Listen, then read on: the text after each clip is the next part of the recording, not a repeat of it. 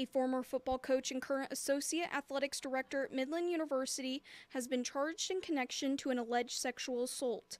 50 year old Steven Heimann is being charged with first degree sexual assault. According to police reports, a woman was visiting Heimann during his move to Fremont. She told police he had gave her a number of sleeping pills causing her to fall asleep, and then Heimann assaulted her and recorded the video of the acts on his phone. An arrest warrant for Heimann was issued yesterday, but according to the Fremont Police Department, no arrests have been made. Midland University put out a statement this afternoon saying Heimann has been placed on administrative leave and the alleged charges do not involve anyone associated with the university.